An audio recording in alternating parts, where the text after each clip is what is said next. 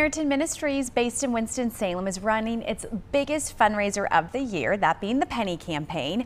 Every penny, dime, and dollar goes toward the daily services the organization provides to those in need. That includes its lunch served at the soup kitchen every single day since Samaritan Ministries started back in 1981.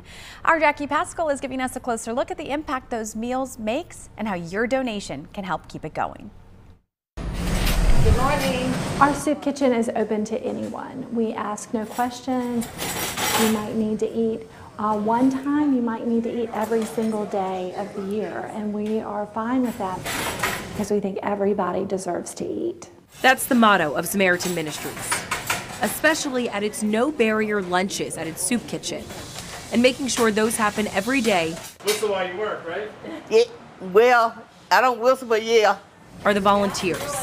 Right here is where I do my salads and my desserts. Which Josephine Truesdale has been for the last 13 years. Girl, After you've been here so many years, you learn everything that you need to know in order to help you to get your job done. She knows how to handle the unique can opener, utilize every ingredient in the kitchen, and serve up dishes with a smile, and sometimes even a hug. You'll never know what it'll do for them. Truesdale says it means a little more to be in the kitchen when she used to be on the other side of the counter. When I became homeless, and the first time I ate down at the soup kitchen, I cried all day long because I was, I said, who would have thought that I'd be homeless? And having this resource was really important for you as yes, well. Yes, they are human just like I am.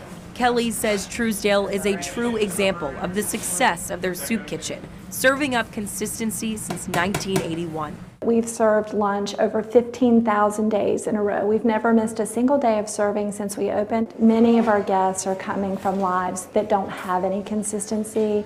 They don't have people or places that they can count on, but they can count on Samaritan. In Winston-Salem, Jackie Pascale, WXII 12 News.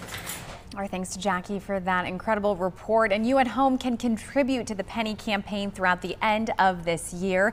But there is a special in-person donation opportunity coming up this Saturday. Samaritan Ministries representatives as well as honorary campaign chair Lainey Pope will be out at Truist Stadium from 9 until noon collecting those monetary donations. Be sure to come out, say hello, and contribute whatever you can.